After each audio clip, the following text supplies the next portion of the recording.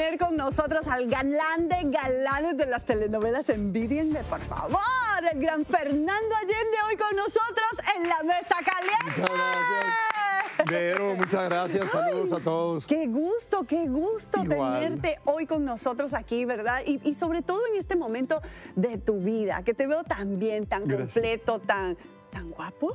Sí, también se lo voy a decir, aunque aquí está su esposa, también te lo voy a decir. Eh, estrenando estas memorias maravillosas, se llaman Memorias Del futuro. del Futuro, pero están contando aquí tu futuro, tu presente y tu pasado, todo. Estoy incluyéndolo todo. 50 todo. años de carrera, Fer. Son 50 años Wow. eh, de carrera.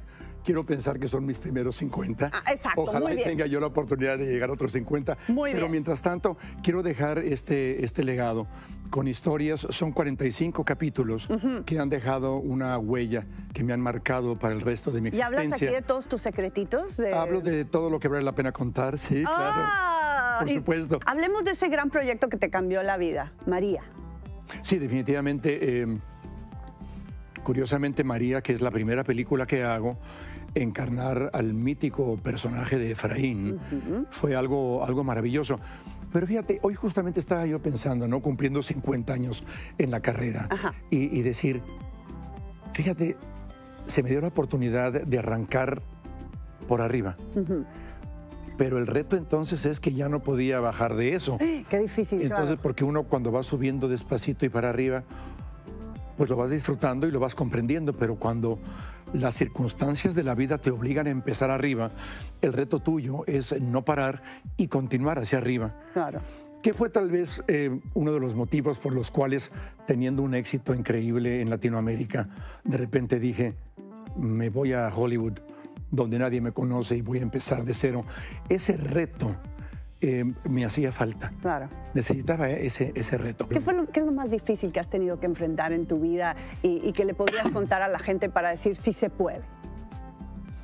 Bueno, definitivamente pienso, Vero, que la, la entrada al mercado de Hollywood, eh, el haber llegado con un, un muy buen capital, capital que, que invertí en estudiar. Llegué a tomar seis clases al día Wow. eh, hasta que se me acabó el dinero. Entonces tuve que tocar fondo. Fondo, claro. Y eh, ese, ese periodo de haberlo tenido todo, el cariño, el prestigio, el amor de la gente y el sentirme totalmente solo, eh, no abandonado, pero, pero solo. La soledad no es buena No, consejera. claro que no. Qué bonito. Fer, gracias por estar con nosotros, por Gracias a enseñarnos lo que es reinventarse. Yo creo que eso es el mensaje que nos dejas hoy eh, con estos 50 años de carrera, en donde también casi, casi pudiste ser abogado. Estuviste a nada. A nada, pero es que ya no me daba tiempo. para no tanta podía cosa. hacerlo todo. Para tanta cosa. Te comento también que estamos haciendo, celebrando estos 50 años, un disco de colección con el maestro Rudy Pérez. Ay, lo sé, de que eso verdad. está quedando espectacular. Ya estoy en el estudio, vamos en la quinta canción, así que se lo súper recomiendo. Besitos cariñosos a todos. Y que te gusta todos. cantar con mariachi, te he visto. también, te he visto ahí con mariachi, con trío. Bueno, verás lo que estamos haciendo, que va a ser algo muy hermoso, dedicado a todas y todos ustedes. Gra- gracias, gracias. por estos, quiero pensar, primeros 50 años. Gracias. Gracias a ti por estar aquí, por venir a compartir con nosotros en la mesa caliente. Si lo quieres tener en tu casa autografiado, si lo quieres tener en tu casa autografiado por mí, es eh, memoriasdelfuturo.com y si no, en Amazon lo tienes en audiolibro, en cara suave, en cara dura, como es esta, eh, buscando todos los momentos y todas las opciones para poder mantenerme cerca de ti. Gracias, gracias por estar con nosotros. Te quiero mucho. Gracias, Gracias. por darnos el honor y el Mil. privilegio de tenerte aquí con nosotros en la mesa caliente.